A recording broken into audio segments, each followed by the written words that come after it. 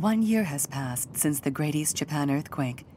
There are still vast areas of land with nothing left standing along the coast in Miyagi Prefecture. The Ibarada section of Yamamoto town is about 40 kilometers south of the city of Sendai. A man walks alone in a vast expanse of vacant lots. Mr. Yoshio Saito is president of Iwaki Diecast Company Limited, which supplied automobile components to customers both in Japan and overseas. This is where this company was founded and the location of their factory. This was a factory. It was all washed away. There's nothing left at all. This was the foundation of our factory. I was on vacation at the time. It would have been my end had I been there. The Ibarata factory immediately after the disaster. The buildings were knocked down, the heavy equipment was knocked over, everything was washed out to sea by the tsunami. I was never concerned with the loss. Recovery and renaissance are what is important. From the day of the earthquake, Iwaki Diecast has been working towards, literally, a renaissance. Fortunately, another factory which is located somewhat inland escaped damage from the tsunami. We borrowed generators and focused on repairing the equipment that would be used. However, the force of the earthquake reached every part of the factory. Although die casting creates metal parts by pouring molten metal into a mold, this work has been brought to a stop. This enormous pipe can be called the factory's main artery. Although it must carry molten metal, its temperature fell when the power went out, and now it's blocked with solidified aluminum. That wasn't the question. The only question was swift recovery. President Saito never gave up hope. Hmm, is there any way we can avoid a stoppage in the supply of parts? He then came up with an extreme suggestion. Let's give our molds to our competitors and have them manufacture these parts. This was a decision that was unheard of in the cast parts manufacturing industry. We've accepted these orders and thus have a responsibility to deliver. If we can't deliver, we have to pass along our molds to other manufacturers in the industry. The dies and molds are truly the core technology for parts manufacturers. They're industrial secrets that concentrate all the technical know-how of a company. Just seeing them allows you to understand a company's technical capabilities and the structure of their production management system. Iwaki Diecast handed over their molds to other die casting manufacturers so that they could make parts for export. It would not have been acceptable for us to consider only our profits because it would cause problems for our customers if we failed to deliver even one part.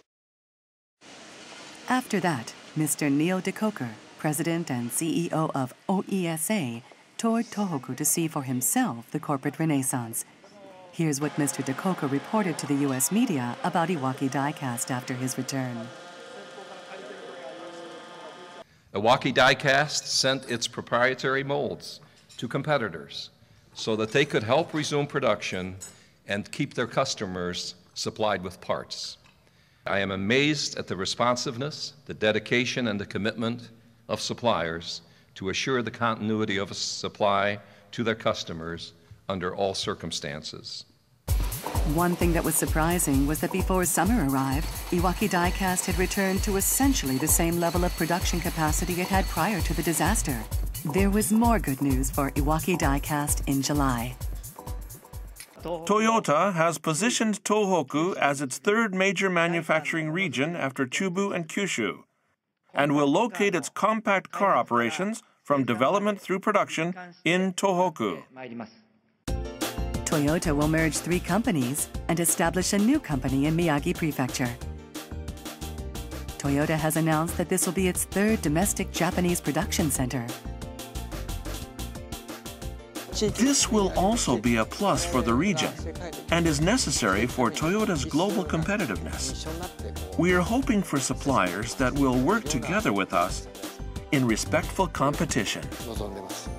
If Japan as a whole collapses, we will all collapse. But what would happen if all of us parts manufacturers expanded globally together? Japan must work together to recover. On February 6, 2012, in Oshu City, Iwate Prefecture, where the snow was falling, a bus carrying 21 foreign purchasers arrived. Ironwork has been around for hundreds. They'd come all the way here from abroad to see the Nambu ironware, which is a traditional craft in Iwate Prefecture.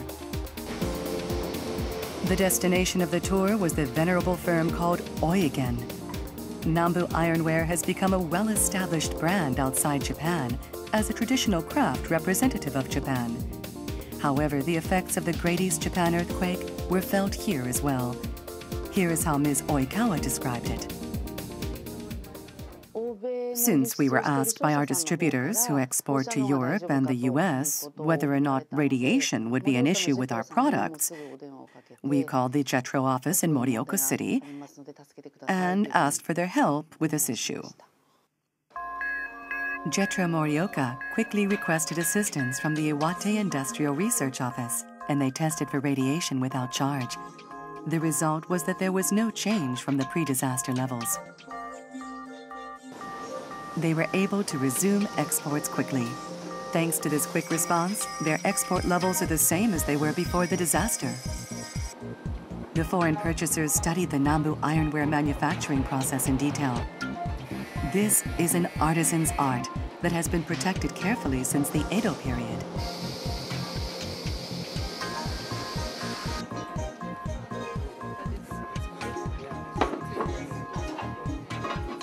Form, the design, and the whole atmosphere of the teapots. A lot of curries and um, rice and everything. Such thinness with such a beautiful cast surface and so round itself is something unknown anywhere else and is truly a heritage it is because our products are firmly based on traditions that exist today. And were we to lose those traditions, the products would be no different from products made in any other locality. Moving to another place, this is Sukagawa City in Fukushima Prefecture. Before the disaster, this was the site of the precision metalworking company Hayashi Seiki Seizo Company Limited. The company was established over 90 years ago and was widely respected for its high added value products, such as metal parts for high end watches. Now, a year after the Great East Japan earthquake, Mr. Hayashi, president and CEO, showed us the site. Well, since we've dismantled and removed the rubble, it's just an enormous vacant lot. The earthquake destroyed the combined factory and business office facility there were 52 employees, but since the equipment caught the ceiling as it fell, miraculously everyone was safe. Soon after the disaster, President Hayashi rented an unused factory from a customer and moved the company's production site. All the employees assisted in moving the equipment, and they were able to restart work in just over a month. They had returned to their pre-disaster capacity by June. According to President Hayashi, real recovery will take time. True recovery is to create a solid foundation that'll support continued growth for the future, even three or five years from now. I really think that if we can do that, it'll be a true recovery. President Hayashi's actions were quick. He made a point of exhibiting the company's products at the medical equipment shows in October in Korea and in November in Germany. The products President Hayashi is promoting are medical components, an area his company committed to three years ago.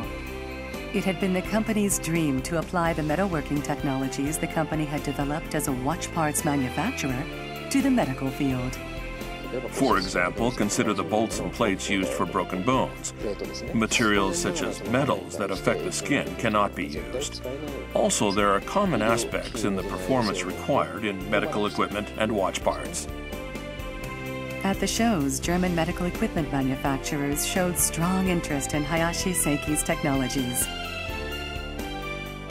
Having received strong positive feedback, President Hayashi is now positioning the medical field as their second focus after watch parts. If Japan were to lose the spirit of monozukuri, Japan would have no future and would wither. This is one of my beliefs.